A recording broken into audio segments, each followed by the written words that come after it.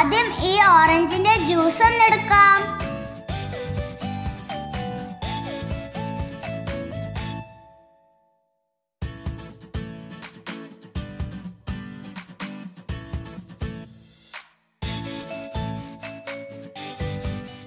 ഇപ്പോ രണ്ട് ഓറഞ്ചിന്റെ ജ്യൂസ് എടുത്തിട്ടുണ്ട്. ഇനി ഇതിലേക്ക് ഡ്രൈ ഫ്രൂട്ട്സ് ഒക്കെ ഇട്ട് കൊടുക്കാം. കട്ട് ചെയ്ത് ഈത്തപ്പഴം ഉണക്കമുന്തിരി. പിന്നെ അണ്ടിപ്പരിപ്പിൽ ചെറീസ്. ഈ ഓറഞ്ച് ജ്യൂസിൽ പഞ്ചസാര ഒന്നും ചേർത്തിട്ടില്ല. ഇനി ഈ ഡ്രൈ ഫ്രൂട്ട്സ് ഒക്കെ ഇതിലേക്ക് ഇട്ട് കൊടുക്കാം.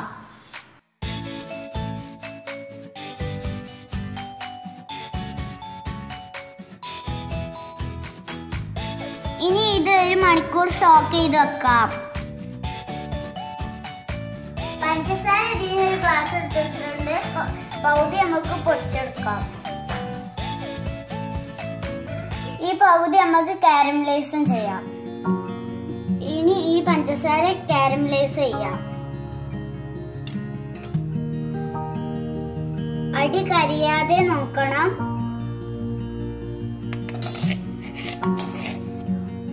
ലോ ഫ്ലെയിമിൽ നമുക്ക് സാവധാനം ചെയ്ത് ഇളക്കിയാൽ മതി. ഇപ്പൊ ഇങ്ങനെ ഷുഗർ അലിഞ്ഞു വരുന്നുണ്ട്.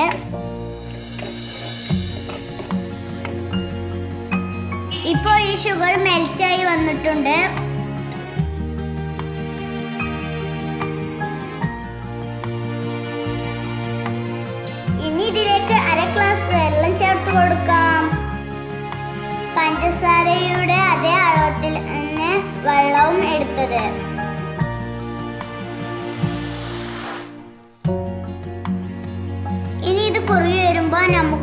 ചെയ്യാം. ഇനി ഇത് ചൂടാറാൻ വെക്കാം. അപ്പോഴേക്കും ഈ പൊടികളൊക്കെ ഒന്ന് അരിച്ചെടുക്കാം. മൈദ ഒരു കപ്പ് എടുത്തിട്ടുണ്ട്. ഒരു സ്പൂൺ ബേക്കിംഗ് പൗഡർ ഒരു നുള്ളുപ്പ് ജാതിപത്രിയും ഗ്രാമ്പും. പഞ്ചസാര ചേർത്ത് പൊടിച്ചെടുത്തത് രണ്ട് പ്രാവശ്യം നന്നായിട്ട് ഒന്ന് അരിച്ചെടുക്കാം.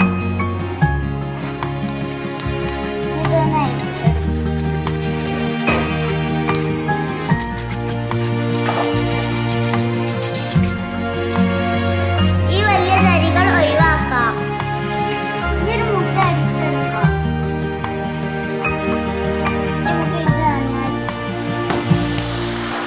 അതിനു വേണ്ടി അരിച്ചു മുട്ട ചേർക്കും. ഈ മുട്ടയിലോട്ട്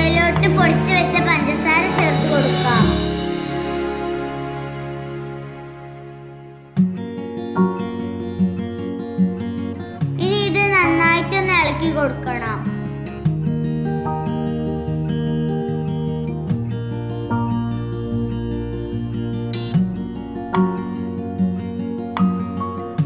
ഇനി ഇതിലേക്ക് രണ്ട് സ്പൂൺ സൺഫ്ലവർ ഓയിൽ ചേർത്ത് കൊടുക്കാം.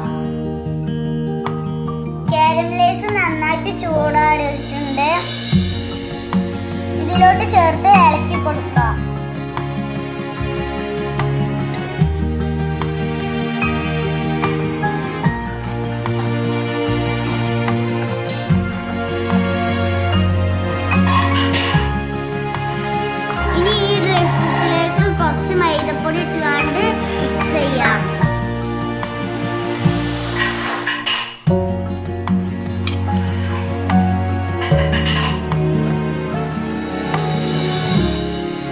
ഇനി ഈ പൊടികൾ ഇതിലോട്ട് ചേർത്ത് കൊടുക്കാം. കുറച്ച് കുറച്ച് ചേർത്തിട്ട് നന്നായി മിക്സ് ചെയ്യാം.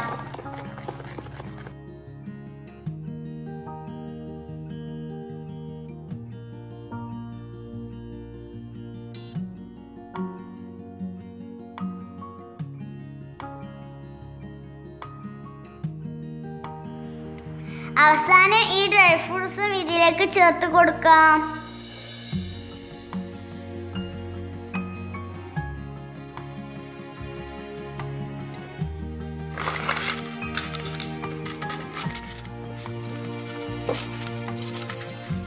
ഞങ്ങൾ ഈ കുക്കറിലാണ് ബേക്ക് ചെയ്യുന്നത്.